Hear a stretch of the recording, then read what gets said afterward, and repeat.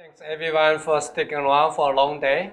Uh, definitely, I'm my first time attending this uh, urban computing workshop, and I definitely see there's a lot of synergies uh, between the you know previous presentations and the research we are doing at the you know the National Lab. So my name is Tianzhen Hong. I'm a staff scientist with the Lawrence Berkeley National Lab, and so my co-workers are Yixing Chen, Sang Hoon Lee, and Mary Ann Piette. So mostly we are doing uh, uh, it's about energy efficiency in buildings. So buildings may not as uh, interesting as animals or people because they don't move, right? But trust me, buildings change because also I think if you uh, think about energy use for the whole country in the United States, so the building sector consumes 40% of the total energy. So it's a big deal. If you care about the energy, you know, climate change, so I think the building sector definitely is, uh, you know, offers a good opportunity. So I'm going to talk about some of our work about you know how we build data modeling, analytic, and, and tools for a city to support a large scale building energy efficiency programs. So you know if you look at the U.S., you know our new construction is less than you know about two percent. So if we want to reduce energy use of buildings, we would have to look at how we retrofit existing buildings, you know, to reduce energy use. So you know, the, the current uh, status is that cities, you know, do retrofit one at a time. So it's probably about like a couple hundred or thousand buildings, for example, in the city of San Francisco. But San Francisco has, you know, 200,000 buildings. So imagine, you know, how long does it really take to retrofit every building? So these kind of, you know, practices does not really uh, provide a feasible way for us to achieve our energy and, you know, climate change, you know, goal. So, you know, if you look at the cities, depends on which city you're looking at. You know, they all have different like you know focus or ma major problems. You know, to you know to to deal with. You know, it can be health problem, it can be water issues, air quality, it can be job, it can be you know buildings. So you know, and then I, so I mentioned you know if we look at the different uh, cities in the U.S. You know, they all consume significant amount of energy. You know, it's from 30% to 70%. So particularly in city of San Francisco, it consume about 42% of total energy. So it's more than half. And I think New York City can be more. So that's uh, one of the questions we try to address is how can we provide guidance or support for the city to reduce you know, the building energy use by 50%, basically cut it by half. Can we do it? Yes, we can. Do we have the technology today? Yes, we have. But so what are the things that are missing? Is data analytics so, and, and a web-based platform that are sort of free and easy to use. So that's why we are you know, trying to develop this platform. So it's called City Building Energy Saver. So this is a screen capture of the web platform. So actually it's um, citybes.lbl.gov. It's know, open to the public.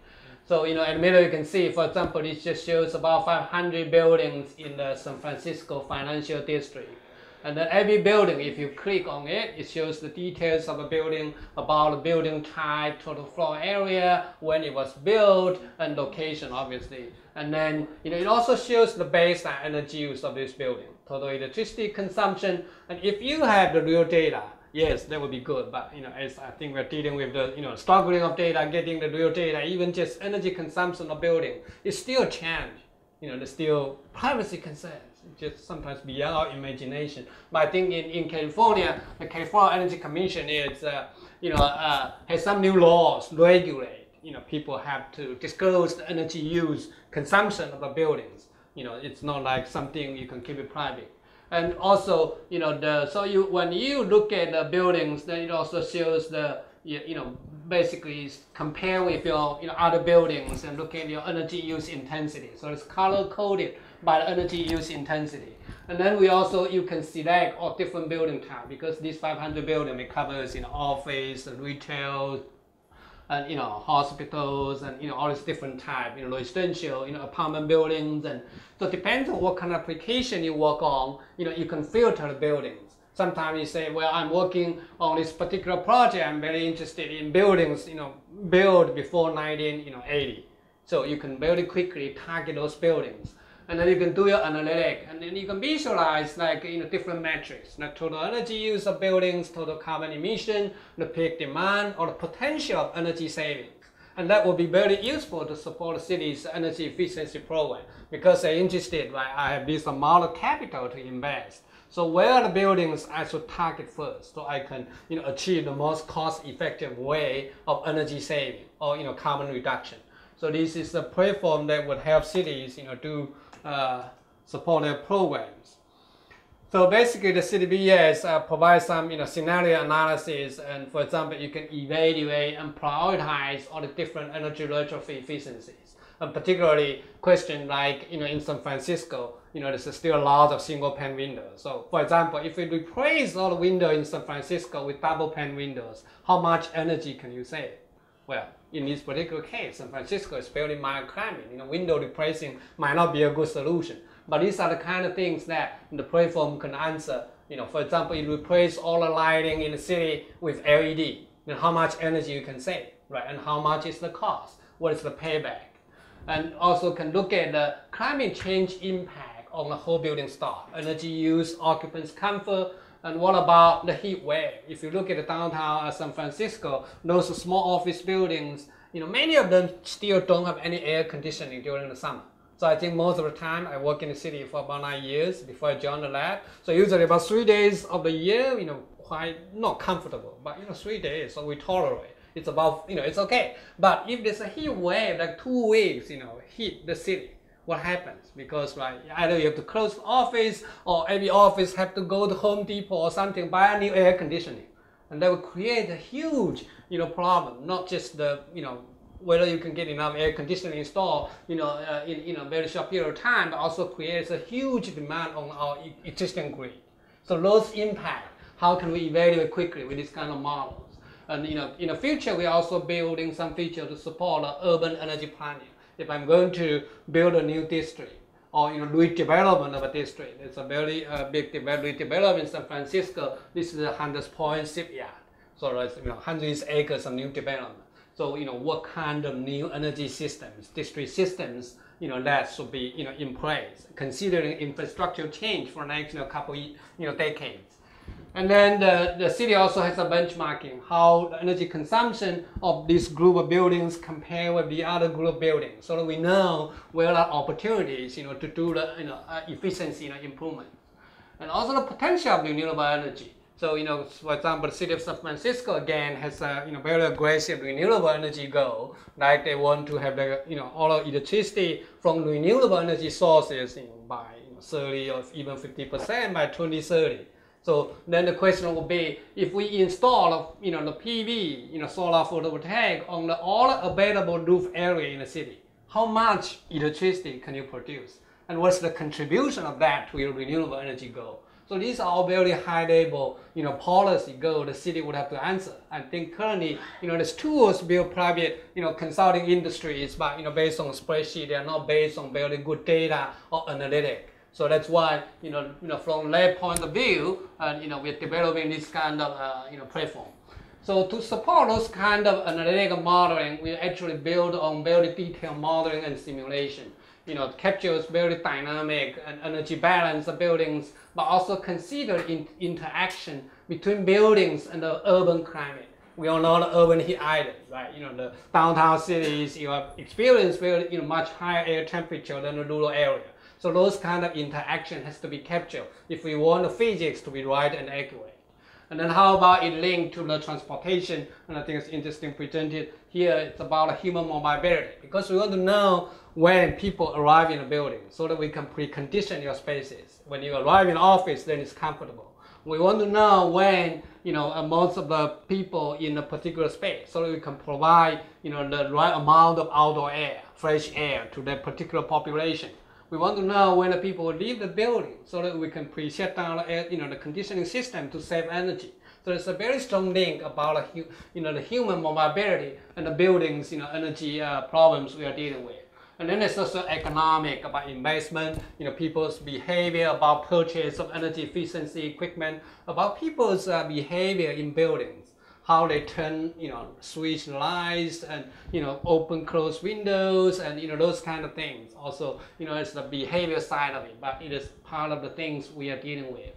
And then the platform we are building will based on open standards. I think this is a big issue in our buildings industry is, you know, there's a lot of consulting company that build all analytical tools and data using their own standard, which does not, you know, work very well with other systems and very difficult to exchange data. So we are building, what we are building is uh, based on a CityGML, and this is an international, you know, OGC that represents the Open Geospatial Consortium standard. So basically, it's an international standard to represent and exchange you know, 3D city models.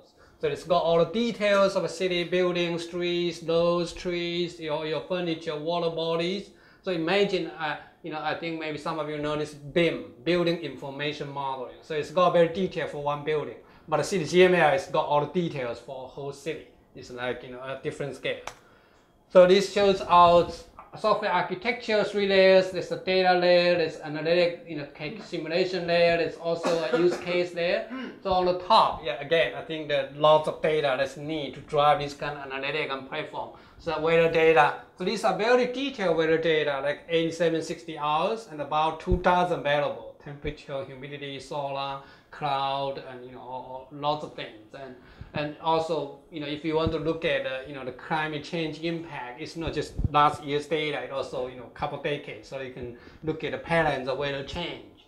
And then there's building stock. So you're talking about 200,000 buildings, San Francisco, New York City, it's about 1 million buildings. So every building has, you know, lots of characteristic data, but also has energy consumption data. You know, for example, in California, most of the buildings now, we have smart meter which basically would record electricity consumption at every 15 minute time interval. And the natural gas is about every day. So if you have this kind of data for the last 10 years, right, you know, aggregate together is a huge amount of data. And then obviously then how we can extract the data and create this kind of data sets. And then, you know, we have simulation engine, EnergyPlus, which is a very detailed building energy modeling tool. Has been, you know, we have been developing that for the last almost 20 years. We supported by Department of Energy and then you know build some of the you know SDK tools that drive our BES. And then you know then you can use for these different use cases like do energy benchmarking, urban planning, retrofit analysis, but also looking at smart meter data themselves can also identify you know operation improvement opportunities. Like you know your office building, by your nighttime energy consumption is almost the same as daytime. That means some of the equipment are running unnecessary during the nighttime. So by looking your load shape, you know, and, and compare with others, we can pinpoint lots of operation improvement opportunities. And obviously, then with this platform, it's very easy to visualize all different metrics, you know, using your, your 3D, you know, uh, information. So uh, uh, some a little bit more information on CityGML. I think so. I, I mentioned it represents all the different urban objects, you know, terrain, building, transportation on the network, and and it, it is you know provides like what you call like various uh, levels of details. You know, for example, uh, like I think later slide I have an example, and also allows you to find a new object, different ways of aggregate. Uh, you know objects and, and uh, also allows you to define your domain knowledge using this application domain extension like in our field building energy modeling you know, the CityGML provides the topology, geometry, but we need lots of HVAC system, lighting systems, you know, all those detailed things. It's not in the CityGML, so it has to be in the you know, energy domain in the ADE to have those kind of extra information. So this is just an example how uh, CityGML represents buildings. You know, at a very simple level, level zero, it's only just like a building footprint. You know, either at the ground level or the roof level. And then at the level one, it's like a shoebox right? And then level two, then you add all of the facade information, the roof. And then level two, level three, then you have the facade, the windows, exterior shading, and the most detailed level is level four, and that's about a label that provides interior spaces layout and all the details. So these are, you know, every, uh, so it uh, provides lots of flexibility because in your CityGML for the whole city, it can be a big file. So it allows you to have different levels of information for different objects. They can, you know, coexist. Basically, drive different type of applications. Some will need label four, some may only need the label, you know, one or label two.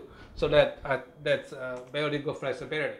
And it takes lots of effort to create this kind of uh, CityGML for a city. But once it's built, it can drive lots of applications for urban uh, you know, studies like urban planning, you look at land use, you know, disaster management, when a disaster happen, you know, how people move and what, you know, the things like that, and, and emergency response, like indoor navigation, we can do an energy assessment for city management, look at the noise, you know, propagation, you can do, you know, modeling on the, you know, urban air quality, microclimates, so this is just an example how we consolidate the data for the CityGML, and it's a, a project we're working with City of San Francisco. Yes, and so the on the top there's all this uh, data from various you know city departments like uh, you know building footprint, land use, parcel data, you know all the cities energy ordinance programs, and then we you know how we do the mapping. Because a building and parcel you know the relationship is not necessarily one to one you know, a building can you know, occupy multiple parcels, a parcel can have multiple buildings. So one of the key change, you know, seems very, you know, fundamental is that we want to have a building to have a unique ID. Like in the US, every person has a social security number, but for building, we don't have such. And that creates lots of challenge. So we are working with the city to create a new data set. So every building have a unique record. And once you consolidate the data, then you can drive you know, different types and applications. And data can be represented in different form, like you know, CityGML can be you know, GeoJSON or some other format as you need it. So this is the last slide. So just to summarize, I think I, I like uh, Dr. Zheng's presentation, 3BMW, and I think the B, uh, big data, big city, and big challenge. And definitely that's the area we're working with. We see the data challenge, you know, data sources, data structure, data quality, how you can, you know, massage all those together. We are also, you know, seeing the modern challenge because we are trying to integrate different domains, not just end building, but also urban climate, you know, the human, you know, mobility. So how these things can work together. You know, they are not necessarily quite the same, you know, granularity of data, and the simulation as well. So we are, if we want to simulate one million building in New York City, in an affordable time, for example, in three days, and in the do very detailed modeling, it's an exascale computing problem. So we also talk to our, you know, computing science, our national supercomputing center. If we need, we can, you know, use that to do this kind of research. So again, this is a good summary of, you know, the research we are doing in the space. Again, I think I see there's a lot of synergies with, you know, the, you know, the projects presented here.